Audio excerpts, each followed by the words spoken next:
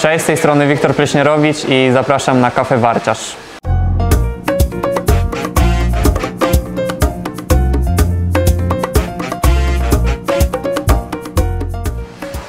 No to zacznijmy od pierwszego pytanka.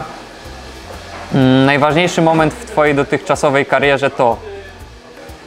No myślę, że takie dwa kluczowe momenty to na pewno przejście dosyć szybkie do rezerw Lecha, do piłki seniorskiej z Akademii U17. Trener Dziurdziewicz mnie, mnie szybko włączył do rezerw.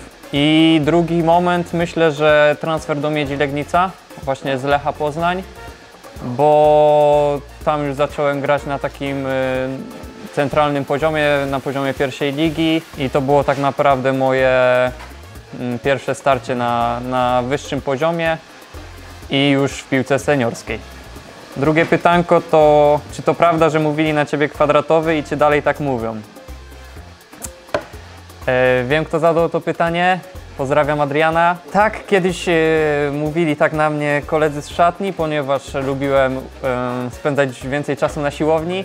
Cały czas e, e, przebywam na siłowni, aczkolwiek trochę odpuściłem klatę i biceps i skupiłem się na innych partiach i już tak na mnie nie mówią koledzy.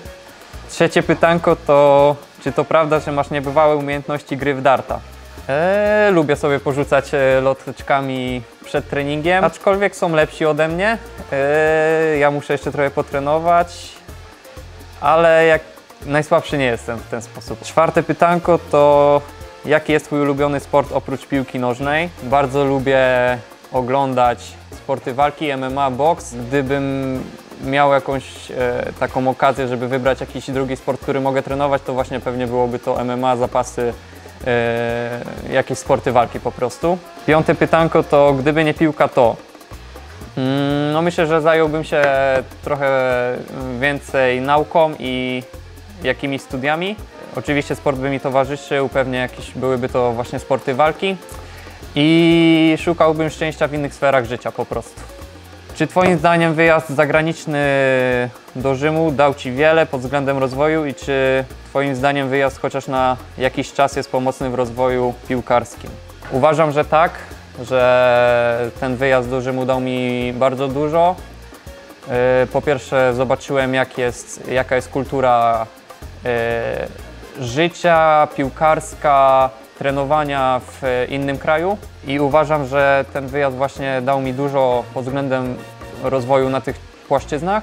Tak, uważam, że ten, tak jak ja byłem na chociażby jeden sezon, no to już jest odpowiedni czas, żeby, żeby te wszystkie rzeczy sobie wyłapać i, i się do nich przyzwyczaić i gdzieś tam później przy powrocie, tak jak w moim przypadku, to kontynuować w Polsce. Jaki jest Twój wzór piłkarza, którego gra Ci się najbardziej podobała i najbardziej Cię inspiruje? Myślę, że na mojej pozycji środkowego obrońcy to zawsze był Sergio Ramos. Yy, Bardzo mi się podoba jego styl gry, yy, jego prowadzenie się też poza boiskiem.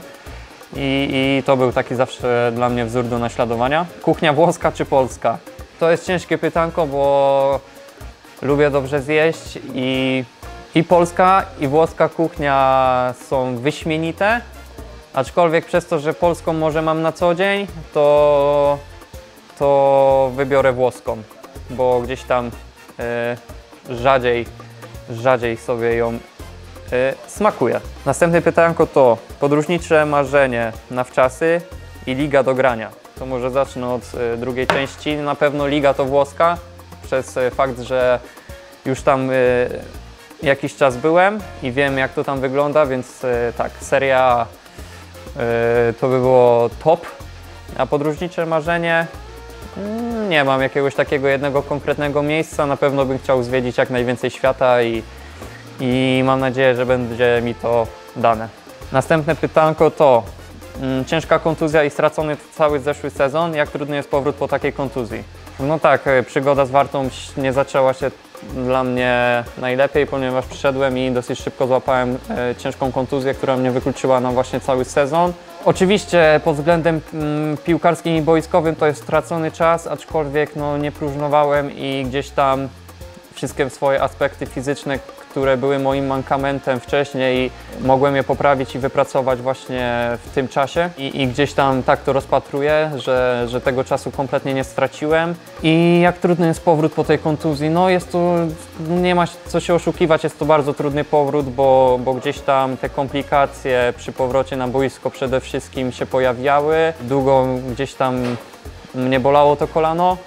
Aczkolwiek cieszę się, że teraz od okresu przygotowawczego byłem cały czas na 100% i to kolano mi już tak bardzo nie doskwierało. Mogłem przepracować cały okres przygotowawczy i cały czas jestem w treningu, więc z tego się cieszę. Następne pytanko to rywalizacja na środku obrony jest duża, konkurencja jakościowa. Od kogo możesz się najwięcej nauczyć?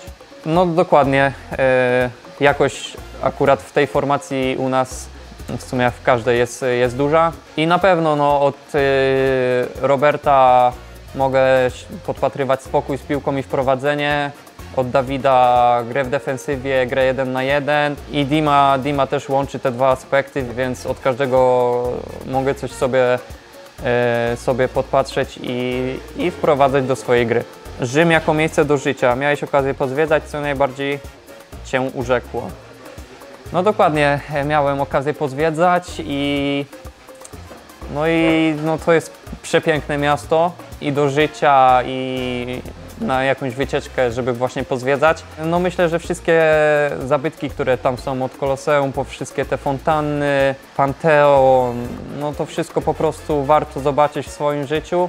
I tak jak mówię, no za każdym razem, kiedy tam przechodziłem, no to, to zawsze robiło wrażenie. I właśnie ten styl życia Włochów też tam, też tam e, jest bardzo przyjemny, więc e, chciałbym tam może kiedyś e, znowu pobyć dłużej.